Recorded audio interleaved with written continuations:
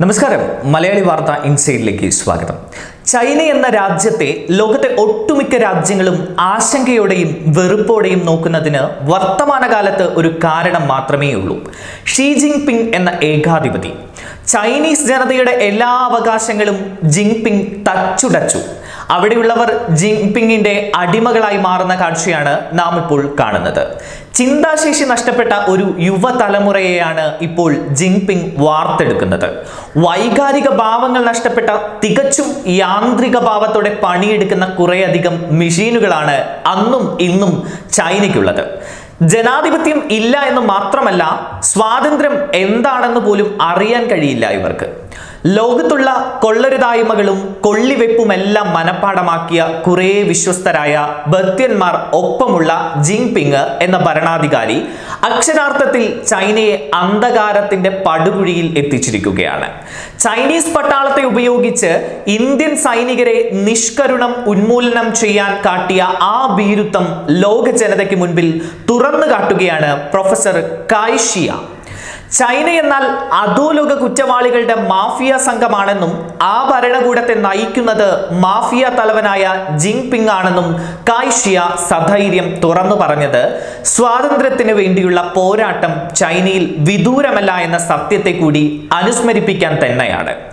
ജന്മാവകാശത്തിന് വേണ്ടിയുള്ള വർഗസമരത്തിന് കൂടി തിരികൊളുത്തുന്ന തരത്തിലുള്ള പ്രസംഗമാണ് കായ്ഷിയ നടത്തിയത്.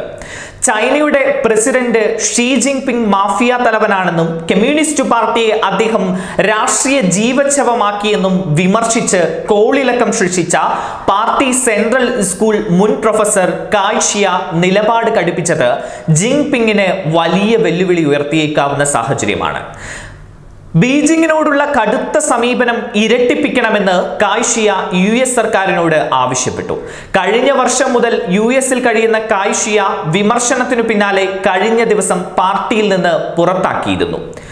സെൻട്രൽ പാർട്ടി സ്കൂളിൽ നിന്ന് രണ്ടായിരത്തി പന്ത്രണ്ടിൽ വിരമിക്കുന്നതിന് മുൻപ് പതിനാല് വർഷം കാശിയ ഇവിടെ പഠിപ്പിച്ചിരുന്നു. ഇവരുടെ പരാമർശം രാജ്യത്തിന്റെ സൽപ്പേര് കളയുന്നതും രാഷ്ട്രീയ പ്രശ്നങ്ങൾ സൃഷ്ടിക്കുന്നതുമാണ് എന്ന് പാർട്ടി വ്യക്തമാക്കി. ഷീ നേരത്തെ പാർട്ടി സ്കൂളിന്റെ മേധാവിയായിരുന്നു.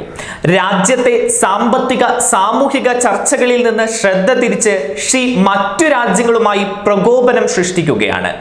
ഗാൽവാനിൽ സംഘർഷം സൃഷ്ടിച്ചത് ഇതിന്റെ ഭാഗമാണ്. രാജ്യത്ത് യു എസ് വിരുദ്ധ വികാരം വളർത്താനും ശ്രമിക്കുന്നു.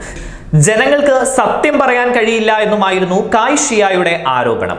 ചൈനയുടെ കടൽ കൊതി ആ രാജ്യത്തിന്റെ നിലനിൽപ്പ് തന്നെ ഭീഷണിയിലാക്കുമെന്ന വാദമാണ് അവർ ഉറക്കെ പറഞ്ഞത്. ജനുവരി ഏഴിന് കോവിഡ് സ്ഥിരീകരിച്ചെങ്കിലും ഒളിപ്പിച്ചു വെക്കാൻ കഴിയാതെ വന്നപ്പോഴാണ് ജനുവരി ഇരുപത്തിയേഴിന് ചൈനീസ് സർക്കാർ അത് പുറത്തുവിട്ടത്.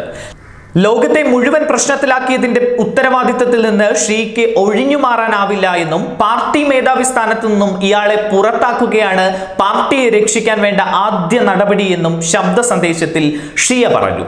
സമീപകാലത്ത് പാർട്ടിക്കെതിരെ തുറന്നു പറച്ചിൽ നടത്തിയ മൂന്നാമത്തെ പ്രമുഖ വ്യക്തിയാണ് കായ്ഷിയ ലോകത്തെ കമ്മ്യൂണിസ്റ്റ് തത്വചിന്തകൾക്ക് പരിഹാസമാണ് ജിങ് പിങ്ങിന്റെ നയങ്ങൾ. വർഗസമരത്തെയോ തൊഴിലാളി വർഗബോധത്തെയോ തെല്ലും വില കൽപ്പിക്കാത്ത ജിങ്പിങ്ങിനെ പോലുള്ളവർ ലോകത്തിന്റെ നിലനിൽപ്പിനെ തന്നെ ചോദ്യം ചെയ്യുന്നവരാണ് എന്ന് വ്യക്തമാക്കുന്നതാണ് ഈ പ്രസംഗം. രണ്ടായിരത്തി പന്ത്രണ്ട് അവസാനത്തോടെ അധികാരത്തിൽ വന്ന ശേഷം തൊണ്ണൂറ് ദശലക്ഷം അംഗങ്ങളുള്ള ലോകത്തിലെ ഏറ്റവും വലിയ രാഷ്ട്രീയ സംഘടനകളിൽ ഒന്നായ കമ്മ്യൂണിസ്റ്റ് പാർട്ടിയുടെ മേൽ തന്റെ നിലപാടും അധികാരവും ക്രമേണ ഷീ ഉറപ്പിക്കുകയായിരുന്നു. എതിർ ശബ്ദങ്ങളെ അടിച്ചമർത്തി യു എസ് പ്രതിനിധാനം ചെയ്യുന്ന ആധുനിക മനുഷ്യരാശിയുടെ സ്വതന്ത്രവും ജനാധിപത്യപരവുമായ വ്യവസ്ഥയും സമാധാനത്തിന്റെയും നീതിയുടെയും മൂല്യങ്ങളെയും ക്രമത്തെയും മാറ്റി സ്ഥാപിക്കുകയാണ് കമ്മ്യൂണിസ്റ്റ് പാർട്ടി ലക്ഷ്യമിടുന്നത് എന്നും കായ് പറയുന്നു.